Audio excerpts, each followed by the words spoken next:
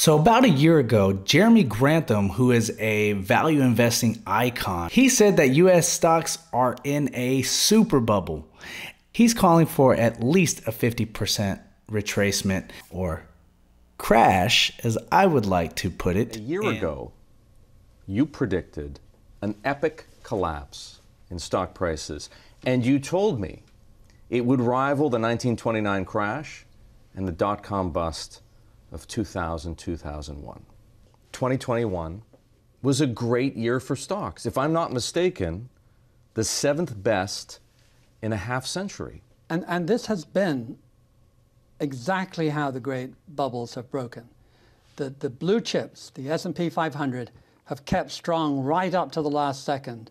And wave after wave of the stocks that had made the real running uh, peel off and drop.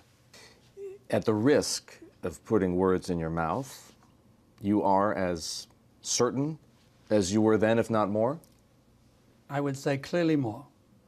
If you're right, and stocks are in a multi-sigma deviation from the statistical trend, tell me what happens. The S&P 500 peaked at almost 4,800 points. Where does it bottom? The, trend line, being slightly generous, is 2,500. And most of the great bubbles, the super bubbles, go below trend and stay there for quite a while. Uh, in the Greenspan era, that tendency stopped. In 2000, yes, the NASDAQ came down 82%, which was fairly brutal. Amazon came down 92. But the Federal Reserve raced to the rescue so loudly and strongly that they stopped the decline in the S&P at trend line. It only declined 50%. 50% is a hell of a big decline, uh, but it was only enough to get it back then to trend. This time trend is at most 2,500. And I would expect, even if the Federal Reserve tries to do the same, it will be hard to prevent the market from declining to that level. So we're talking about a decline of, certainly from the peak, of almost 50%. Almost 50%. And of course, it declined very quickly 50% in 1929. It declined 50% in three years in 2000.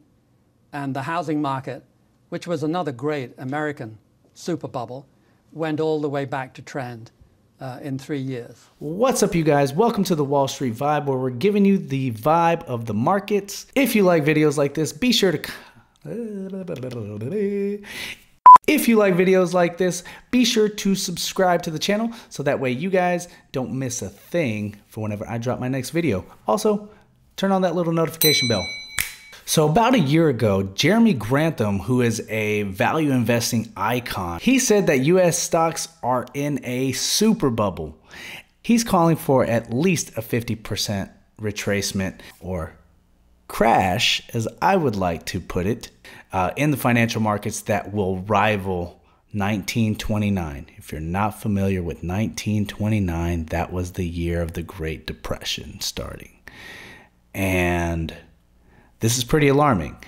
A year ago, he gave a interview to Bloomberg and said that he believes it more so now than he did in 2021 when he was calling for, you know, stocks to crash in the US. And it's almost like the way everything is kind of unfolding here in the last couple of weeks, um, that his prophecy is likely to be true. Um, he's calling for at least the S&P 500 to retrace down to at least, at least, he's calling it at trend 2,500, which is at least 50%, nearly 50% retracement. Uh, that is a full blown crash that will rival the Great Depression. We have a lot of events that are kind of coming together to kind of make this true, in my opinion. Um, we have banks failing, we have interest rates rising back up, we have Fed rate hikes possibly on pause or possibly going to continue going up, which is going to put more pressure on banks. And it's going to be so that way we can try to tame inflation, right? Um, and then we have more more money to be printed out right? Because they are going to be bailing out the depositors of all the failed banks. And then, and then here's one thing people tend to forget. One important piece of information that I feel like is going to be the straw that breaks the camel's back. I can't say for sure that this will happen, but just the possibility of it could still send the market heading south.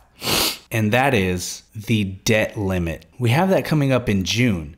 Now, if both parties, Republicans and Democrats, cannot come together and to a bipartisan agreement to raise the debt limit, then that is going to cause the US to default on its debt. And then that is going to send the market into a spiral.